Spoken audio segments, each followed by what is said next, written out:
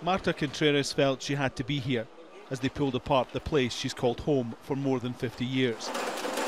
So badly damaged in Tuesday's earthquake, the building was in such a dangerous condition she couldn't recover anything of her previous life. Now all she owns is what she wears.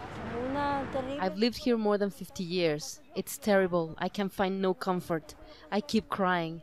I have not eaten. It just feels like a nightmare. I I just can't. The town centre of Jojutla didn't fare well in the tremor. In just moments, buildings which had stood for decades were gone, others badly damaged. Some people managed to grab what they could, others could only watch as diggers pulled apart the remains of ordinary lives changed forever.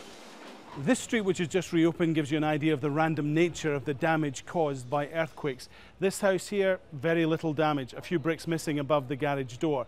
But just next door, you can see gaping holes in the walls all the way up to the roof. A lot of the frontage has fallen into the street. The damage here is so bad that this house will probably have to be pulled down. On the edge of the town, they've set up a camp for those who have nowhere to go. They try to make it comfortable, but you wouldn't call it home. Everyone works together to fill the trucks that regularly pull in. This takes aid to those in towns further away and those who simply won't leave home. Suhelis Sotelo didn't know what to do when the quake hit. She's due to give birth any day. For the moment, that has to be the priority. They helped me with some formula, some diapers and clothes for my baby.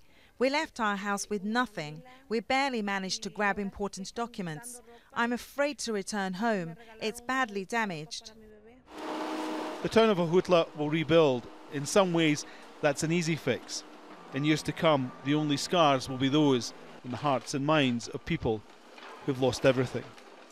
Alan Fisher, Al Jazeera, Jojutla, Mexico.